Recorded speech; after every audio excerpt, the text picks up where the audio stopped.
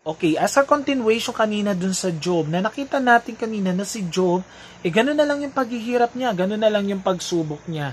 And his suffering was very great according dun sa kaninang uh, binasa natin. Ibig sabihin talagang nakita nila, walang lumabas na salita na sa bibig nila. Hindi na sila nagsabi, oh, bakit ganyan, wala na. Nung seven days na yon no, eh talagang nandoon sila para lang makiramay at makisimpat siya kay, kay Job alam nyo, napakaganda no, na meron tayong mga ganitong mga kaibigan no. Napakalaking regalo sa atin na may mga kaibigan tayong handa tayong damayin. Hindi lang sa panahon ng ng kasiyahan, no?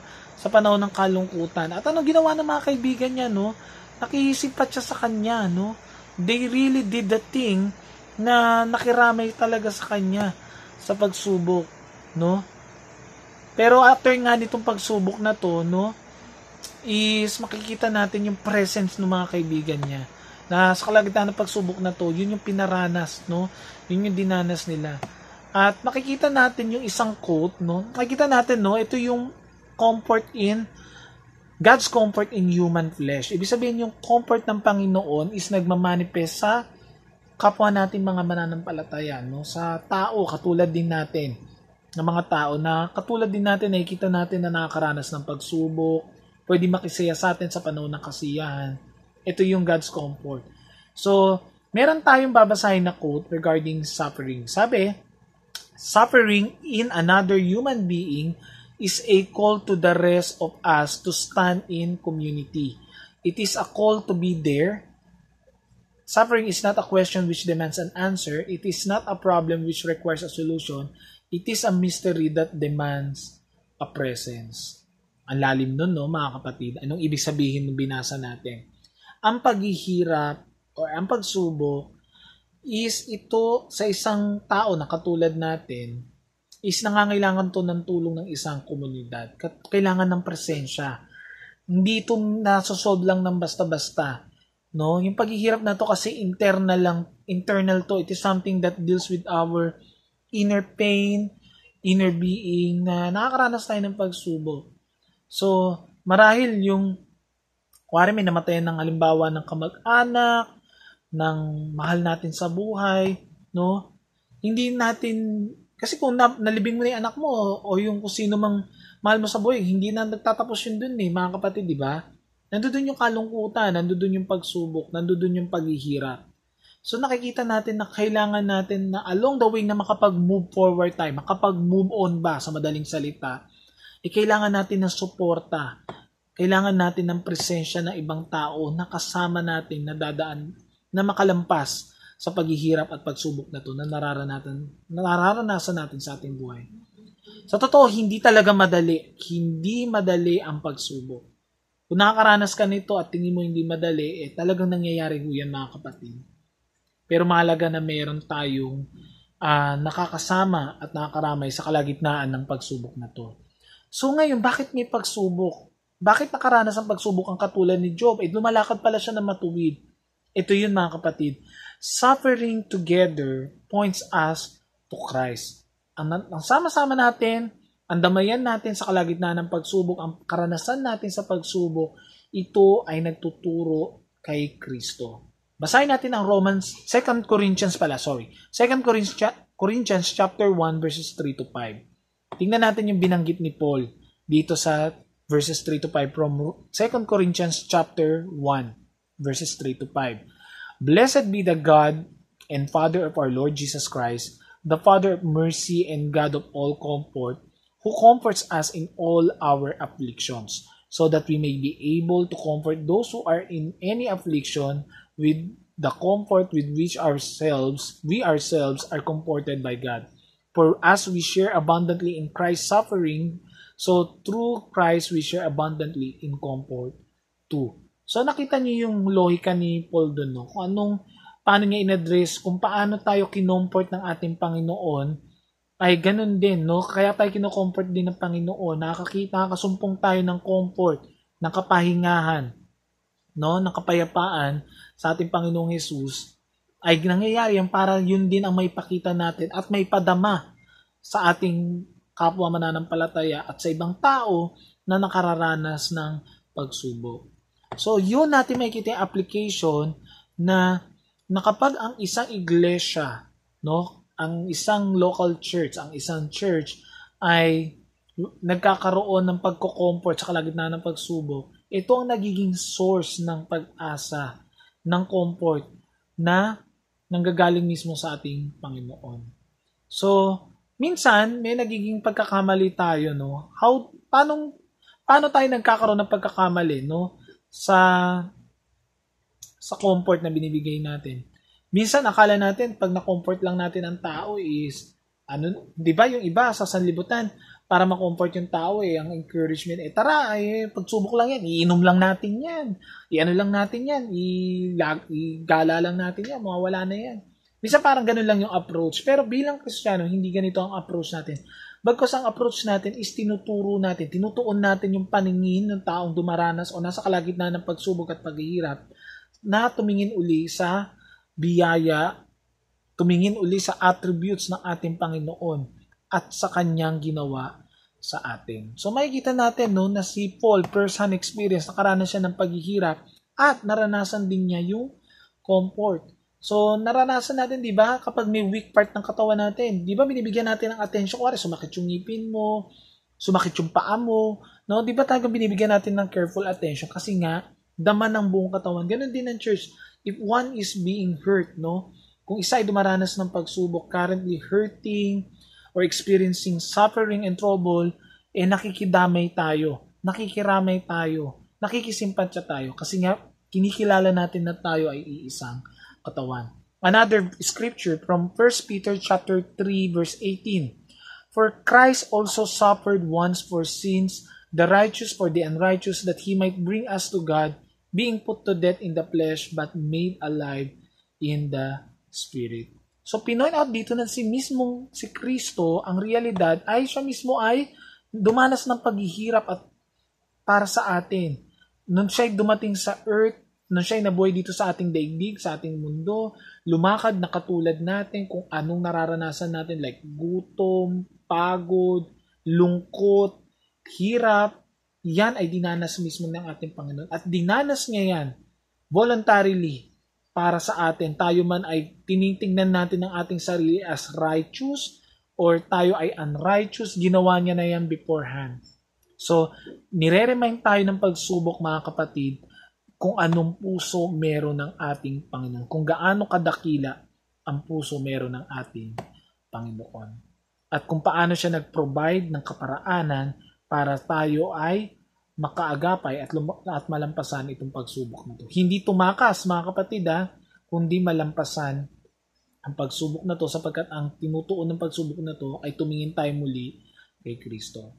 Ngayon, may huli tayong babasahin na scripture from 2 Corinthians chapter 4 verses 16 to 18. Basahin po natin. Sabi po dito sa 2 Corinthians chapter 4 verses 16 to 18, So we do not lose heart. Though our outer self is wasting away, our inner self is being renewed day by day. For this light momentary affliction is preparing for us an eternal weight of glory beyond all comparison, as we look not to the things that we are seen, but to the things that are unseen. For the things that are seen are transient, but the things that are unseen are eternal. Napakalalim yata ng binasa natin mga kapatid. Pero this is the picture of purpose. Bakit tayo nakakaranas ng paghihirap? Ano yung nabasa natin doon? No? Na parang ang nakita nat ang pinipicture doon mga kapatid, nakita niyo po, is eto na nga, nakakaranas tayo. Really, totoo, nakakaranas tayo ng pagsubok. Pero alam niyo kung saan tayo dadali nito? No? Yes, parang sa labas natin, sa panlabas natin, parang wasting away na. Kumbaga, ito na nga, naghihirap na ako, nangihi, papahina ako. Yung, yung buhay natin, hindi papadali. Minsan, mas nakakaranas ng paghirap. Pero, deep inside, mga kapatid, ha, yung binasa natin, hindi sila nakaka, na, hindi siya nawawalan ng pag-asa. Sabi, they do not lose heart. No? Kahit sa totoo lang, eh, hinang-hina, gusto mo nang sumuko. No? At in light of affliction, no, yung weight, yung bigat ng pagsubok na to, still nakaka nakakakita pa rin sila ng pag-asa. Bakit saan sila nakatingin mga kapatid? Hindi sila nakatingin ngayon sa kasalukuyan. Yes, hinaharap nila yung reality. May pagsubok ako. Yes, hindi ko matatakasan to. Harapin ko to. May pagsubok ako. No? Pero alam nyo kung ano yung nagmo-motivate sa kanila na magpatuloy and still lumakad pa rin sa Panginoon? Why? Because itong mga bagay na to, nakatingin sila sa eternity. Itong mga bagay na to, someday mawawala ito. Hindi ko to mararanasan ngayon dito sa lupa. Patuloy ko nararanasan dito sa ang boy, ang ganitong klaseng pamumuhay sa lupa pero balang araw, darating ang panahon na ako ay makakaranas ng higit na reward na meron sa kalangitan. So, meron kaya sa inyo na nakakaranas ng pagsubok mga kapatid? Siguro ay meron sa atin ngayon na nakakaranas ng pag-isa at pagsubok. So, ito ang kalagahan ng church mga kapatid, na tayo ay may kadamay at merong malalapitan sa ganitong oras ng ating pagsubok. Meron tayong masasandalan at meron tayong mahihingan ng panalangin, may mahihingan ng katotohanan na nanggagaling sa Biblia. At bilang pagtatapos ay meron tayong babasahin tungkol sa isang vlog po ito. Binlog niya or ni-record niya, dinocument niya yung naranasan niyang pagsubok. Sabi dito, God made His people for the local church, hasn't He? I need the folks from the, yung pangalan ng local church niya. I think the Bible bears this reality out. I also need the folks from the universal body of Christ. If you're a Christian and you're reading this, ito yung parang mga Facebook page, mga kapatid, or Facebook post na humihingi ng panalangin or prayer. Parang ganito yung binabasa natin. If you're a Christian and you're reading this, you are member of a local church? Question mark. Not a video church, not a satellite campus where the pastor doesn't know you, not your own church at home, not a solo Christian. I really need the church right now. And they have been there.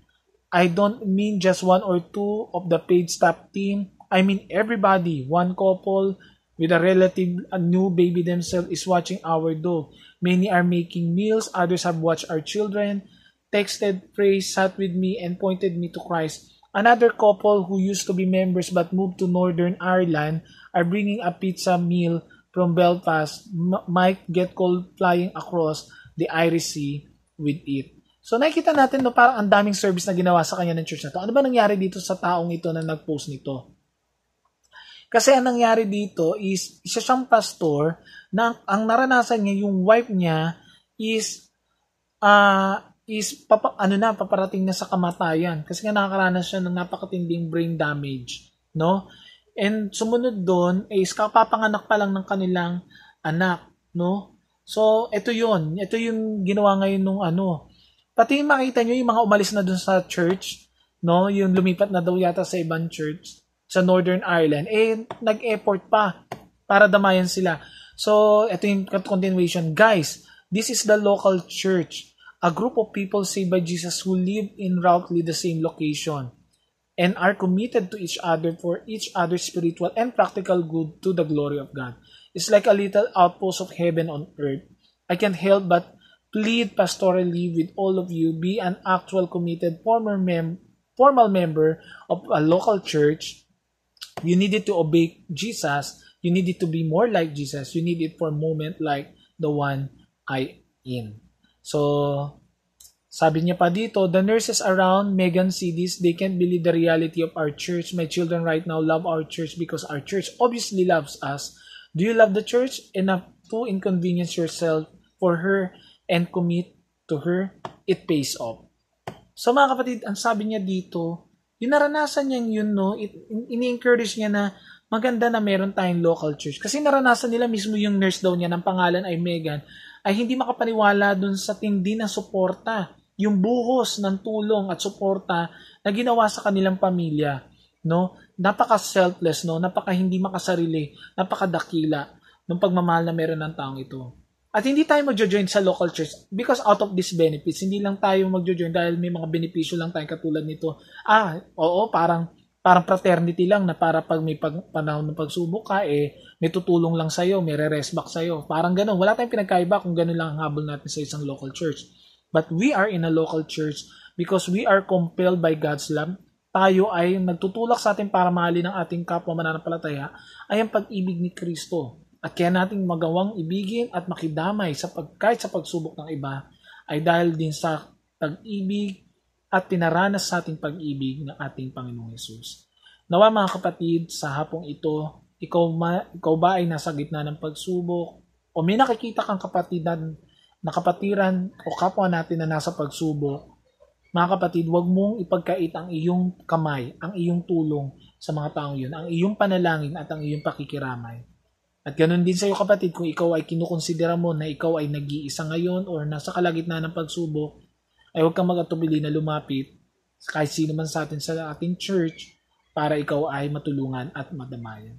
Ngayong gabi, ay ngayong hapon mga kapatid, ay sama-sama tayong manalangin bilang pagtatapos sa ating lesson. As we see another truth, why we need the church is we need others in our suffering because these others, these fellow brothers and sisters in Christ will point us once again to our greatest comfort, the Redeemer, which is Jesus Christ. Let us close in prayer.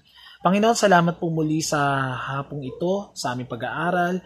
Salamat sa inyong salita, sa katotohanan na inyong pinagkaloob. Tunay nga na makita pa rin namin ang kalagaan ng inyong church, ang kagandahan ng nasa sa inyo, ang biyaya na meron kaming kapatiran sa aming tunay na mga ng pangyayari sa aming buhay. Salamat sa kabutihan niyo, Panginoon, at kayo pong patuloy na magbasbas ng pag-iingat at proteksyon sa bawat isa at pag-iingat sa bawat isa sa amin. Sa pangalan ng inyong anak na Panginoon Jesus, Amen. Mga kapatid, ito na nagtatapos ang ating lesson 11 sa ating accelerate.